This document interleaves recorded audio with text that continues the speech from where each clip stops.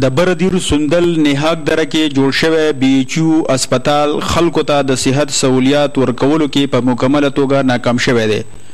د هسپتال بلډنګ او رهایشي کواټرې د اثار قدیمه منظر پیش کوي. دا بلډنګ دومره خراب شوی دی چې څه وخت هم بده پېښه مخې ته راتللی شي.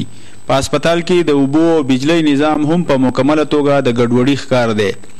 په هسپتال کې ځای په ځای د ګندګۍ ډېري پراته دي. او د هسپتال عملې په دې موکمل سترګې پټې کړې دي. په هسپتال کې د ډاکټر او ښځې ډاکټرې د نشوالي له وجې مقامي ولس د یو شمېر ستونزو سره مخ دي.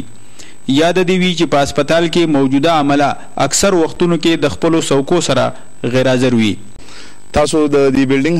حال په خپله باندې ولدو. دا د نن نه شل پنځه ویشت کاله، دویشت، دریشت کاله تقریباً مخکې جوړ شوی بلډنګ دی او د دې. اهم شی اهم ضرورت ریفیر دی د دې یعنی څه ټیم کې هم دا را پریوتی شي او دا د غونډې نیاک درې مین کلی سندل دی ټیک ده جی او دی ته د دې د ریپیر کولو هم ضرورت دی او بل موږ ته اهم شی د ایم بی بی اس ډاکټر ضرورت دی په دې کې ایم بی بی اس نشته او یو سره سہولیات نشته او به جی د هسپتال اهم یو جز دی هغه نشته زموږ دا هسپتال دی د یک درې دا مین سنټر دی دا یو هسپتال دی پکې بي ایچ یو دی پکې د کې بوز ډیر زیات ډیر زیات کمی دی پکې خاص کر د دې بلډینګ تقریبا 20 25 سالو شو چې په دې بلډینګ جوړ شوی دی د پروجیکټ د سایډ نه د ګورنمنت د سایډ د ریپیرینګ د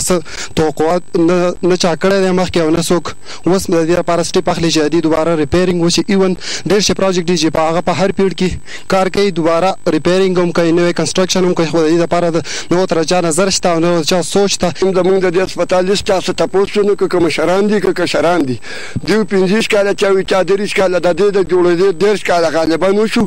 دېرش کاله چې تیار شوی دی په دې دېرش کاله کې د دې صحیح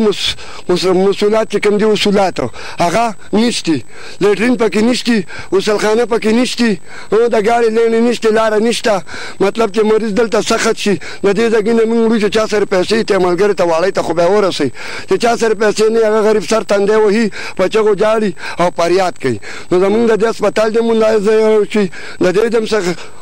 پروګرام وشي سہولت د پاره دلته کې مونږ ته د الیکټری سخت ضرورت دی او د دې ځای نه چې کلم بیمار شي زنانه نو روډ هم دغه حال دی اچې واړی ته راسي نو هغه ټول بلیډ یا نور څه مساله وي نو هغه ته نور بیا بیماریانې مخې ته شوي دغسې تاسو بیلډینګ هم په خپله ولیده او دا هر څه چې دې مرګرو وګي نو هم دغه حال دی تاسو په خپل نو ستاسو د مخې دی طالبه خو دا کومه چې دا بیلډینګ دې نوی شي دې ته دې د اوبو پروګرام وکړی شي د روډ پروګرام دې وکړی شي امبولینس دې دله ورکړی شي بل دلته داسې ډاکټر لکه داسې یو راج نه دی پکار چې یو ډاکټر دلته خپل کورنی راج چلوي یا څه کوي ټول قوم تری په یو نظر ګوری اینی وی ټیم دلته چوبیس ګنټی مونږ له ډاکټر پکار دی د شپی د ورځی دا تاسو نن ولیده چی د جمعی ورځ وه خو د دولسو نه بجو نه وروستی خو هم حدیثه پیښیدای شی اکسیډنټ کیدای شی څوک را لویدای شی نو هسپتال بنی چی ددی هسپتال کی مونږ خو تقریبا دا پچیس تیس سال مخکی جوړ شوی دی